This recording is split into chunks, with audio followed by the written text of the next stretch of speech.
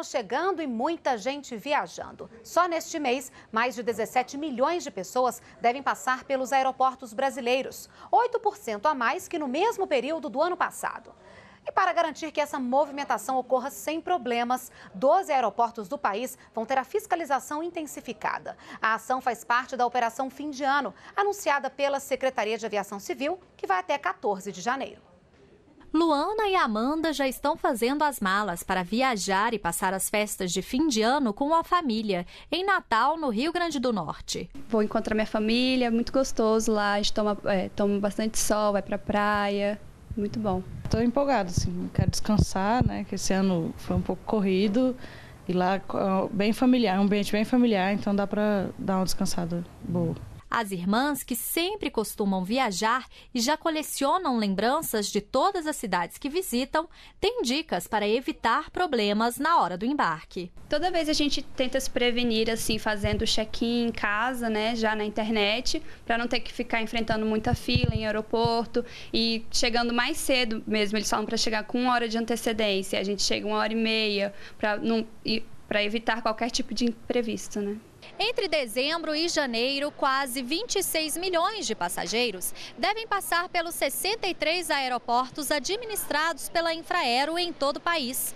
O número é mais de 10% maior do que o registrado no mesmo período do ano passado. E a fiscalização da ANAC vai ser intensificada em 12 aeroportos do país, o dobro do ano passado. A operação fim de ano vai ter quase 300 servidores trabalhando para prestar informações aos passageiros. A ANAC estará fortalecida em número de pessoas, né, de fiscais, nos principais aeroportos. Haverão 290 pessoas a mais nos aeroportos. Né, e com isso nós vamos adequar o atendimento ao usuário e esclarecer e resolver possíveis conflitos que aconteçam. Então a ideia é que estejamos mais presentes para que possamos atender adequadamente a população. As empresas aéreas apresentaram planos de contingência e se comprometeram a reservar aeronaves extras durante todo o período, antecipar as manutenções e reforçar as equipes de atendimento aos passageiros e de check-in. Além disso, elas assumiram um compromisso de não praticar o chamado overbooking, quando a empresa vende um número maior de passagens do que a capacidade da aeronave. Em condições normais, pretendemos ter zero de overbooking. Zero. Queremos deixar ninguém no chão, não. Queremos que todo mundo voe. No ano passado, quando foi realizada a Operação Fim de Ano, o número de cancelamentos de voos registrado foi de 3,5%, menor do que a estimativa inicial, que era de 5%. O mesmo aconteceu com os atrasos. A previsão era de 15% e fechou o período em 13%. Outra opção para ajudar os viajantes nessa época de fim de ano é o Guia do Passageiro. Uma parte do manual detalha o limite de peso da bagagem, a confirmação do check-in e o atendimento aos passageiros com deficiência ou mobilidade reduzida, por exemplo. Outro trecho traz as normas a serem seguidas dentro do avião. O guia tem também os números de telefone e sites dos órgãos governamentais e das companhias aéreas. E durante uma visita de inspeção às obras de ampliação do Aeroporto Internacional de Brasília, o ministro-chefe da Secretaria de Aviação Civil afirmou que o cronograma está em dia e que em breve o aeroporto deve se tornar um ponto de concentração dos voos da América Latina. Essa obra aqui é uma obra fundamental. Esse aeroporto vai para uma capacidade de 41 milhões de passageiros no futuro, terá 21 milhões de capacidade durante a Copa do Mundo. E nós já estamos vendo algumas intervenções é, que eles já estão fazendo e algumas estarão prontas para a Copa da Confederação para aumentar a qualidade dos passageiros, que vai ser uma sala VIP muito grande, a maior sala VIP do país, que vai ser executada, estará pronto para a Copa das Confederações, e um novo estacionamento também para aumentar a qualidade do serviço prestado ao passageiro. Com a aproximação do período de chuva no país, um plano foi lançado para atender moradores que vivem em áreas de risco e podem sofrer com desastres naturais. O foco da ação será nas regiões sul e sudeste. O governo investiu este ano 7 bilhões e 700 milhões de reais para agir de modo preventivo e minimizar os danos decorrentes dos desastres naturais provocados pelas chuvas em todo o país. Nesses dois meses, já foram treinados cerca de 2 mil moradores de sete municípios localizados nas regiões sul e sudeste, onde são registrados maiores desastres naturais, já visando o período chuvoso, que ocorre a partir de agora e vai até o final de fevereiro. Além de treinamentos de moradores, de áreas de riscos, estão sendo treinados também agentes da Defesa Civil. O país já está preparado para enfrentar as próximas chuvas. Estamos criando eh, os escritórios regionais de acompanhamento, sobretudo no Rio de Janeiro e em Belo Horizonte. O escritório do Rio vai receber a Força Nacional de Emergência já amanhã, quinta-feira, e na próxima semana, Belo Horizonte, para que a gente possa ter técnicos profissionais para acompanhar na ocorrência de eventos extremos, eles estarem em campo para poder passar as informações a Brasília, para poder orientar as autoridades estaduais e para que as medidas e as providências sejam tomadas a tempo e a hora. Já começam nesta semana os trabalhos de prevenção contra os desastres naturais. Eles serão coordenados pelo Centro Nacional de Gerenciamento de Riscos e Desastres. Cerca de 100 especialistas de diversos segmentos trabalham 24 horas por dia, de domingo a domingo, no mapeamento e monitoramento de áreas de riscos em todo o país. A ideia é emitir sinal de alerta à população e agir de forma rápida para salvar vidas em casos de desastres naturais. Já tínhamos um trabalho bastante intenso é, em parceria com a Defesa Civil, com o Ministério da Defesa, de preparação de materiais, kits, insumos e de mobilização e orientação das secretarias municipais de saúde e das secretarias estaduais de saúde nas situações de desastres. E desde 2011, com a criação, inclusive formalizada por decreto da presidenta, se estabeleceu toda uma regra de acionamento das, das forças da área da saúde em situações de desastres, de risco sanitário é, protocolo de acionamento, quais são os critérios de acionamento, entre eles uma, uma grande cooperação com os estados e com os municípios, com as secretarias estaduais e municipais, com protocolo de acionamento, recrutamento de profissionais especializados nas secretarias estaduais e municipais e também de profissionais voluntários que permanentemente são cadastrados e capacitados. É, enquanto o período chuvoso se aproxima em algumas partes do país, o semiárido brasileiro enfrenta uma seca que é considerada a maior dos últimos 40 anos. E para auxiliar os moradores dessa região, foi anunciada uma ajuda de 400 milhões de reais por meio de uma linha de crédito emergencial. Os recursos vão estar disponíveis até 28 de fevereiro. Os municípios atingidos pela seca, considerada a maior dos últimos 40 anos, vão receber mais 400 milhões de reais pela linha de crédito emergencial. O anúncio foi feito no Palácio do Planalto pela ministra-chefe da Casa Civil, Gleisi Hoffmann. Esse é um crédito que tem aplicação ampla e pela gravidade da situação do Nordeste, a presidenta determinou que isso já fosse colocado é, à disposição do Banco do Nordeste para não ter prejuízo ou não ter solução de continuidade dos empréstimos que eles estão fazendo. Os agricultores familiares têm limite de crédito de 12 mil reais, com juros de 1% ao ano e prazo de pagamento de 10 anos, com 3 de carência. Para os agricultores não familiares, setores da indústria, comércio e serviços, o limite é de 100 mil reais, com juros de 3,5% ao ano. Desde abril, este é o terceiro anúncio de liberação de crédito emergencial para os municípios atingidos pela seca. No total, os recursos somam 1 bilhão e 900 milhões de reais. Mais de 1.300 municípios foram atingidos pela seca em 2012. Entre as medidas do governo federal para beneficiar os municípios do semiárido, já foram anunciados também o pagamento de duas parcelas extras do Garantia Safra, que passou de 680 reais para 952 reais, além do pagamento do Bolsa Estiagem, que totalizou 560 reais. Além disso, foram entregues mais de 110 mil cisternas para garantir o abastecimento de água e mais de mil municípios foram atendidos por carros-pipa. A presidenta Dilma Rousseff esteve esta semana em viagem oficial à Europa. Na França, ela e o presidente francês François Hollande defenderam um compromisso com o crescimento econômico e a geração de emprego como forma de combater a crise. No encontro com empresários, a presidenta Dilma afirmou que o governo quer aqui no Brasil um ambiente amigável para atrair e fortalecer investimentos privados em áreas de logística. A presidenta também confirmou que o governo pretende construir cerca de 800 aeroportos regionais em todo o país. O último dia da visita oficial à França da presidenta Dilma Rousseff foi marcado por encontros com empresários.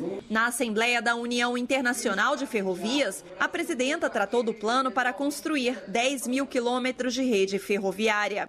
Para Dilma, um país continental como o Brasil não pode se dar ao luxo de fazer o transporte de cargas apenas por rodovias. Para o transporte de passageiros, Dilma noticiou a construção de metrôs em cinco capitais brasileiras e o leilão da primeira etapa do trem de alta velocidade. Nós estamos lançando a licitação para a escolha da tecnologia do trem de alta velocidade, que vai ligar os dois maiores as duas maiores regiões produtoras, tanto de, de, de manufaturas quanto os maiores PIBs do Brasil, que é São Paulo e Rio. Durante o seminário empresarial Desafios e Oportunidades de uma Parceria Estratégica, a presidenta comentou medidas a serem tomadas para o setor aeroviário e afirmou que deverão ser implantados por volta de 800 aeroportos regionais e que outros de grande porte serão licitados.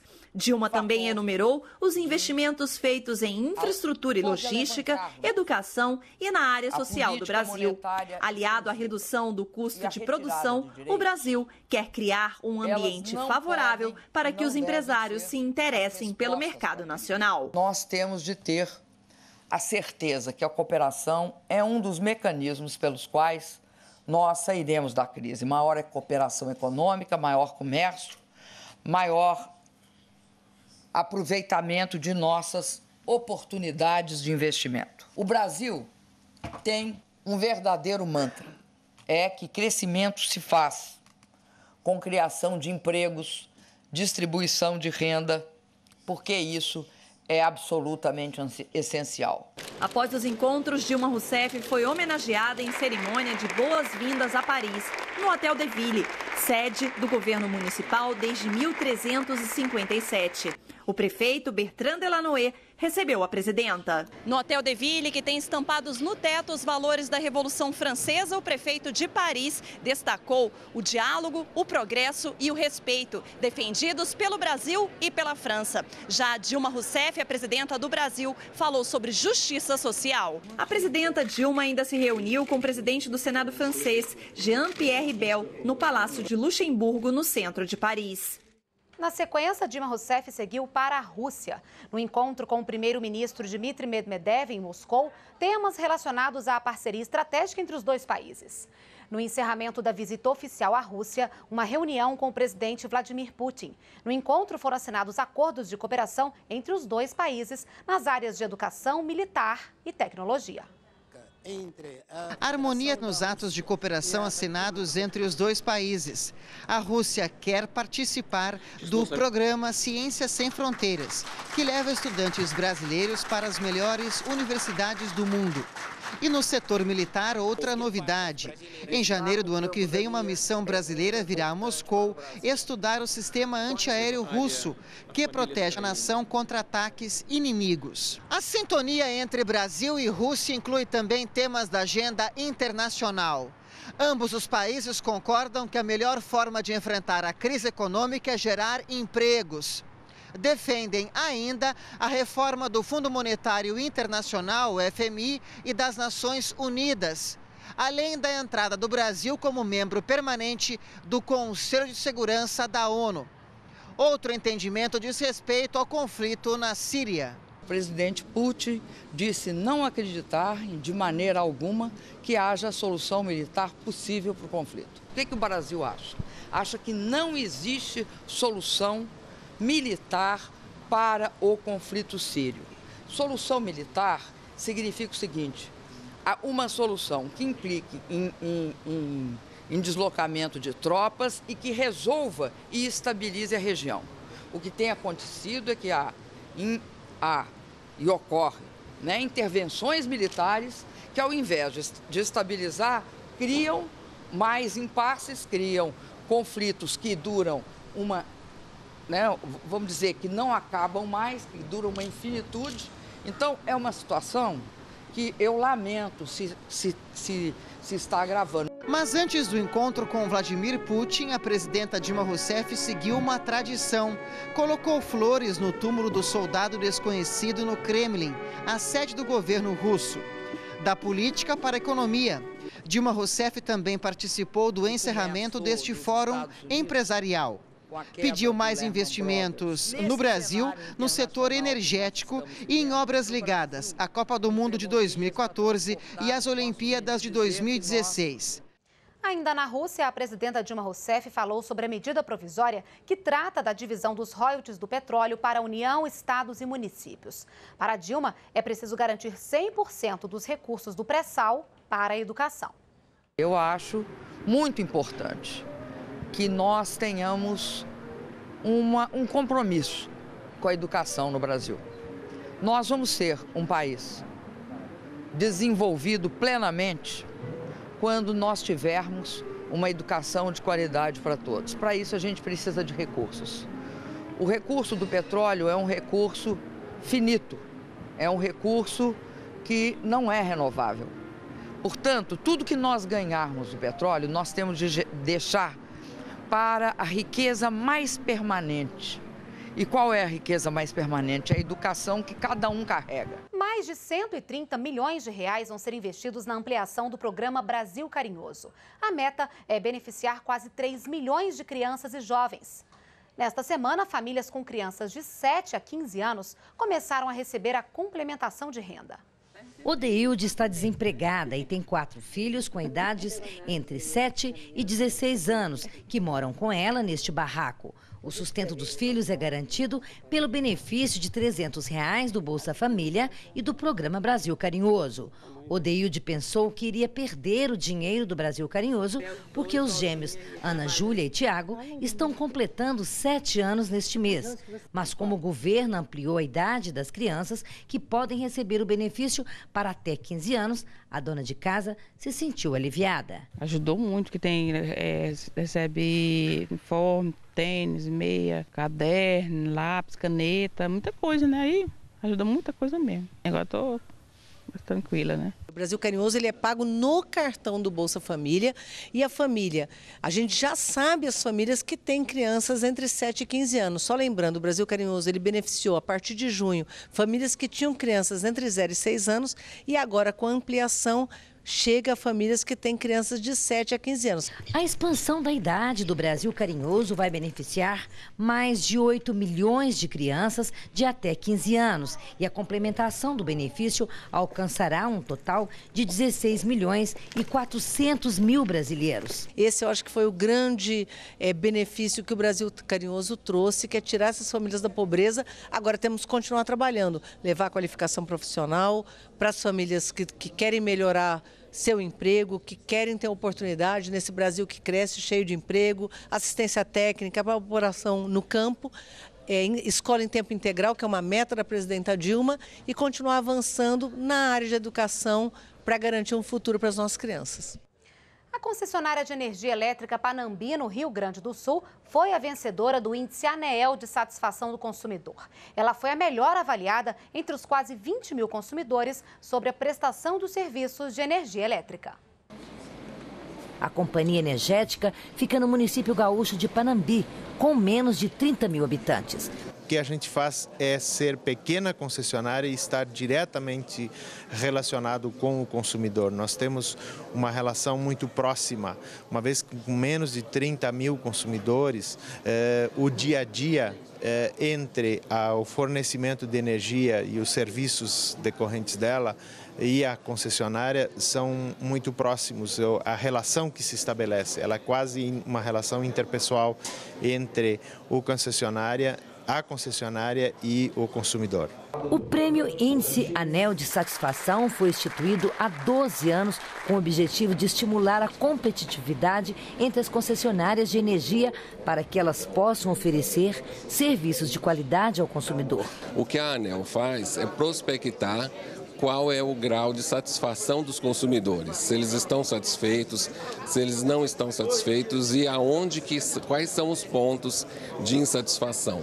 Com base nisso, então cabe às distribuidoras é, providenciar então ações que realmente busquem é, melhorar a satisfação dos seus consumidores. Esse é o propósito do trabalho. Proximidade das festas de fim de ano e as férias de verão, aumentam os índices de acidentes de trânsito, segundo a Polícia Rodoviária Federal. De janeiro a novembro de 2010, por exemplo, a média mensal foi de 500 acidentes envolvendo motoristas alcoolizados nas rodovias. Em dezembro do mesmo ano, o número aumentou quase 22%. Por isso, foi lançada uma operação para reduzir esses índices. Leandro tem 23 anos e sofreu um acidente de carro. Quebrou a perna e está internado. Ele assume que foi vítima da própria imprudência. Eu bebi, usei bebida alcoólica, acabei dirigindo, acabei perdendo o controle do carro, capotei, me acidentei. De março de 2011 até fevereiro desse ano, foram registradas mais de 8.500 mortes por acidentes de trânsito em rodovias federais. De acordo com o Ministério das Cidades, foram mais de 191 mil acidentes. E a Polícia Rodoviária Federal aponta que quase 28 mil motoristas foram pegos embriagados. E para diminuir as ocorrências que acontecem com as festas de fim de ano e início das férias, foi lançada nesta quinta-feira a segunda edição da Operação Rodovida. A ideia é reduzir tanto o número de acidentes quanto a gravidade deles. Para isso, estão previstas ações integradas. Essa é uma ação que envolve uma grande integração, uma integração das polícias, rodoviária federal, das polícias estaduais, eh, do Ministério das Cidades com órgãos dos municípios, do Ministério dos Transportes com órgãos estaduais e municipais. É uma grande ação, onde a sociedade também tem um papel muito importante. Nós temos que conscientizar as pessoas para que não bebam, para que dirijam dentro das regras. Não podemos ter tantos mortos, tantos jovens, tantas famílias destruídas nesse período. A operação será realizada de 15 de dezembro a 13 de fevereiro do próximo ano, depois do carnaval. Entre as medidas adotadas estão as tradicionais blitzes. Elas serão realizadas em 100 pontos que são considerados críticos, 40 a mais do que no último ano. A fiscalização vai focar nos motoristas que dirigem alcoolizados, nos motociclistas e também no excesso de velocidade. Durante o lançamento da campanha, o ministro das Cidades entregou à Associação dos Detrans um milhão de bafômetros educativos. Para Agnaldo Ribeiro, a conscientização é fundamental. A fiscalização, a educação e mobilização, na verdade, tem um fim, que é mudar a postura das pessoas, é fazer com que é, nós tenhamos respeito ao primeiro a nós e ao seu ao próximo. Já o Ministério da Saúde vai intensificar o projeto Vida no Trânsito, que unifica as informações sobre acidentes no trânsito. De maneira que a gente possa ter, né, os gestores, tanto o governo federal, os governos estaduais e prefeituras, uma base de informação importante para, além dessas ações destinadas a toda a população, realizar intervenções localizadas. O ministro dos Transportes, Paulo Sérgio Passos, ressaltou que o principal motivo de acidentes nas estradas não é a condição das rodovias, mas sim a imprudência dos motoristas. Nós temos hoje a convicção e as estatísticas assim demonstram de que grande parte dos acidentes está associada à ingestão de álcool e, e, e direção. É, as ultrapassagens em momentos é, inadequados, indevidos é, e também o excesso de velocidade. Obedecer ou não obedecer o que diz uma sinalização horizontal quanto à ultrapassagem significa chegar ao seu destino inteiro e em paz ou passar a fazer parte de uma estatística triste, que é a estatística dos acidentes de trânsito, que tanto é, nos sensibilizam e queremos ver se reduzir. O Notícias da Semana fica por aqui. Na semana que vem, voltamos com outros assuntos de destaque do governo. Continue com a gente na NBR, a TV do Governo Federal.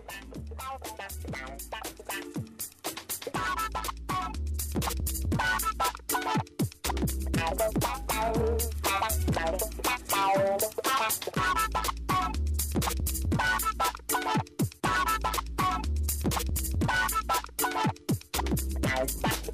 Bye.